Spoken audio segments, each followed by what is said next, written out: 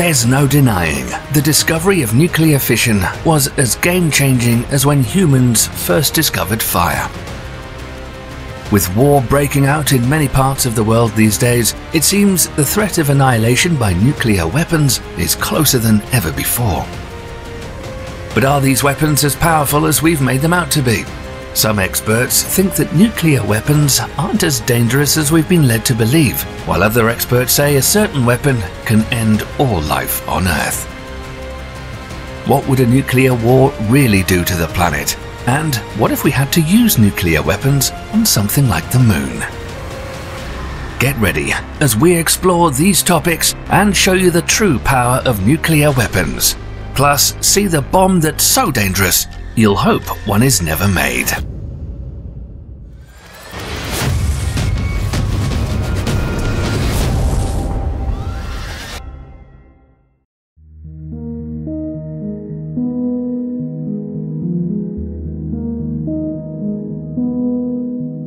Nuclear warheads are the king of all bombs when it comes to weapons of mass destruction. And according to estimates done recently, there's around 12,500 nuclear warheads that exist globally. Russia's got around 5,900, and the United States possesses around 5,244 nuclear weapons. However, a majority of those nuclear weapons are either in storage or retired. In fact, both the United States and Russia only have about 1,600 active deployed strategic nuclear warheads each. That's still 3,200 nuclear warheads, quite enough to cause plenty of devastation.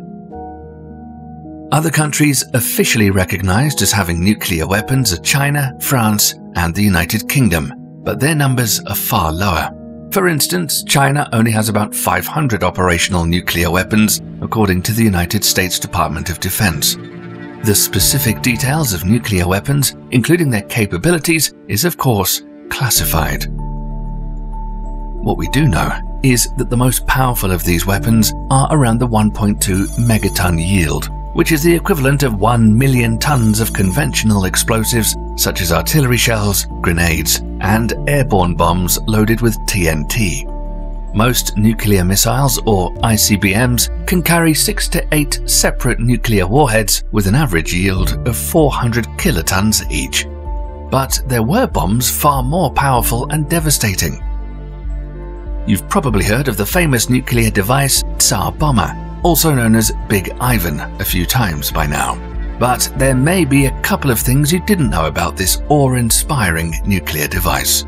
We all know it was the single most powerful nuclear weapon ever made and tested on Earth, releasing the largest man made explosion ever recorded in history. New study and observations put the yield of the explosion from Tsar Bomba at 57 megatons, or the equivalent of 57 million tons of TNT. It remains unmatched in its destructive power, but also in its futility. The bomb was useless because it was far too large and heavy for it to be considered a practical weapon. Producing such a weapon in 1961 was a huge undertaking, literally. It was so big that a Tupolev Tu-95V bomber had to be modified by removing the bomb bay doors and fuselage fuel tanks just to carry the 27-ton bomb. It measured a whopping 26 feet in length and almost 7 feet in diameter. The interesting thing aside from the sheer size of the Tsar Bomba is that it was designed to be a 100 megaton capable bomb. It was a three-stage hydrogen bomb that used a fission-type atomic bomb as the first stage to compress a thermonuclear second stage, which in turn compressed a much larger thermonuclear third stage. And evidence shows that the Tsar Bomba utilized several third stages, not just one. It could have yielded more than 100 megatons, but the bomb had a toned down design that involved a tamper, which is an optional layer of dense material surrounding the fissile material. To minimize the radioactive fallout, the third stage had a lead tamper inside of a uranium-238 fusion tamper. Had the bomb included a uranium-238 tamper, Big Ivan would have produced a yield in excess of 100 megatons. That's because a uranium tamper greatly amplifies the reaction by fissioning uranium atoms with fast neutrons from the fusion reaction, thereby greatly amplifying the magnitude of the explosion. But by using a lead tamper, fast fissioning was eliminated, and thermonuclear fusion accounted for 97% of Tsar Bomba's yield, meaning a much cleaner and smaller explosion. In fact, the bomb didn't produce as much nuclear radioactivity because of the lead tampers. The smaller explosion also allowed the bomber that dropped the weapon to get far away enough to survive the explosion. However, the explosion was still huge, the bomb was dropped over the Mityushikha Bay test site on the deserted island of Novaya Zemlya and exploded 4 kilometers above the ground. It produced a huge mushroom cloud more than 37 miles high. The flash of the detonation was seen 620 miles away and was capable of inflicting third degree burns on anyone within a distance of 62 miles. It definitely would have been visible from Earth's orbit had there been any astronauts to see it. But in the end, Tsar Bomba had no strategic value other than intimidation. But it didn't intimidate anyone, because American scientists pointed out its size, and that fact alone made it strategically pointless. Furthermore, testing shows a 100 megaton bomb releases only 10 times the energy of a 10 megaton bomb, but doesn't do 10 times more damage. This has to do with the non-linear blast effects of explosions, so a 100 megaton explosion is only a little more than twice as damaging as a 10 megaton bomb. But on the other hand, the weight of nuclear weapons does roughly scale in a more linear fashion. A 100 megaton bomb weighs 10 times more than a 10 megaton bomb, making it that much more difficult to deploy on a missile or a bomber.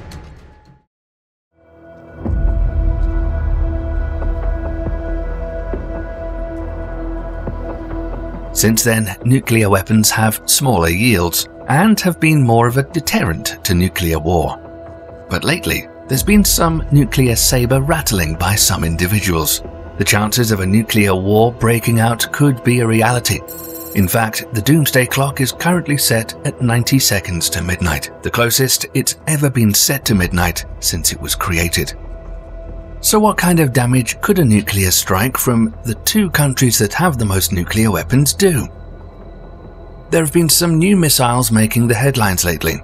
The Russian Federation has the RS 28 Sarmat intercontinental ballistic missile, nicknamed Satan II after the previous R 36 or SS 18 Satan ICBM.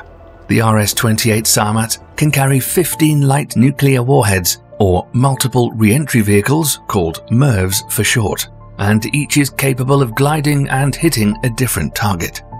The LGM-35A Sentinel is the United States Air Force's next-gen intercontinental ballistic missile, taking the place of the five-decade-old Minuteman III. The Sentinel can also carry multiple warheads, such as the 475 kiloton W-87 thermonuclear warhead formerly deployed on the LGM-118A Peacekeeper ICBM. The fact that all of these ICBMs can carry multiple warheads means that the chances of surviving the explosions and the nuclear winter that follows will depend on where you live and how fast you can hide in a fallout shelter. In an all-out nuclear attack, there are too many different factors involved to say exactly what will happen, such as not knowing how many missiles may be intercepted on each side. But because hypersonic glide vehicles are incredibly hard to shoot down on their way in, the damage would probably be devastating on both sides. But one more thing remains. It doesn't matter who starts a nuclear war, there will be no winners. One side launches nuclear missiles, and the other side detects the launch and counterattacks with their own nuclear strike before impact. Ballistic missiles from the submarines of both sides are launched. The first thermonuclear strikes create electromagnetic pulses that fry electronics and power grids. The next targets are command and control centers and other nuclear launch sites. All land based ICBMs take 30 minutes after launch to reach their targets. Each nuclear warhead that makes it through air defenses would explode with a fireball nearly as hot as the core of the sun followed by a blast wave that would vaporize anything caught in its path. Any survivors in areas not directly affected by the blast would have to deal with firestorms and high levels of radioactivity. But the worst would be yet to come. All the black carbon smoke from the nuclear explosions and firestorms they created would end up high in the stratosphere, where high altitude jet streams would spread it across the skies. Some studies say this black smoke and dust would create a nuclear winter and cool the planet by 40 degrees Fahrenheit. Without supplies, those people still alive would end up starving or perishing from the effects of radioactivity sickness. We really have no idea how many survivors there would be in a nuclear war, but could all this nuclear war destroy the planet? As in, break it and actually blow it up? Not a chance.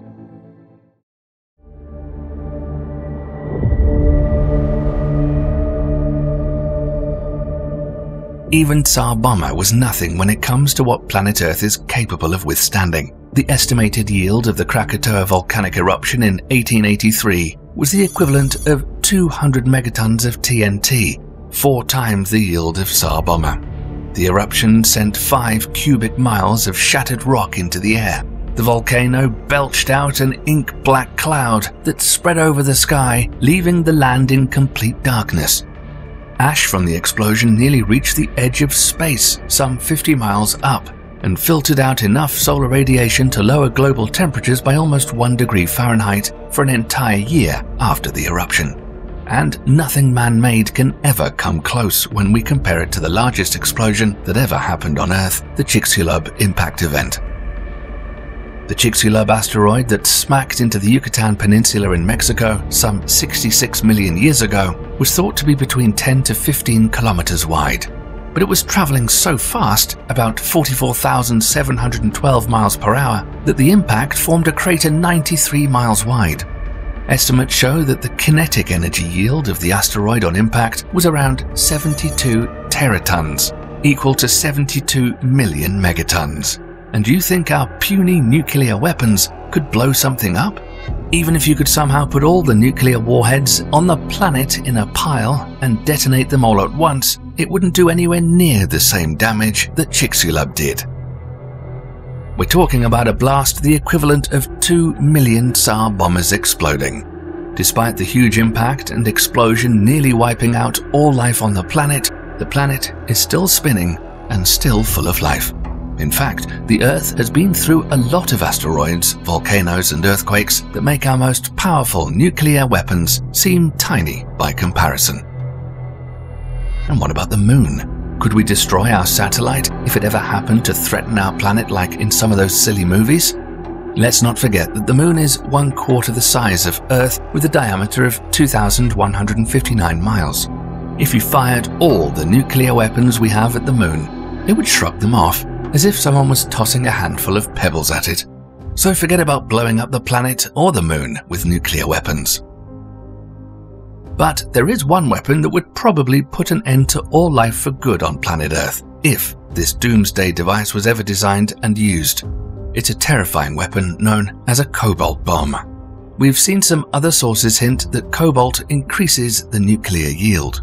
Well, that's not the truth. The truth is actually more horrifying because what it lacks in explosive power, it makes up for in radioactivity. This bomb is also known as a salted or dirty bomb that rains down huge amounts of radioactive material in a wide radius after the explosion. In other words, if the explosive fireball and shockwave didn't get you, the enhanced amount of radioactive fallout will. Its concept was first originally described by physicist Leo Szilard in 1950. He wasn't proposing that such a weapon be built, but instead describing that nuclear technology would soon reach the point of ending all human life on Earth. In other words, a true doomsday device. So, how would this doomsday device work? Remember how we talked about the lead tampers in Tsar Bomba earlier in the video? They are what made the explosion cleaner when it came to the radioactive fallout left behind. A cobalt bomb would do the opposite, having a tamper made of ordinary cobalt placed around a thermonuclear bomb.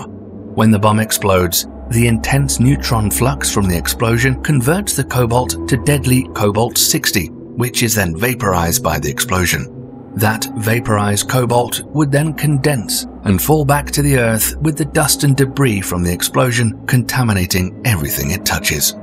Even if you were to escape and hide in a fallout shelter, the high energy gamma ray emitting cobalt 60 has a half life of 5.27 years.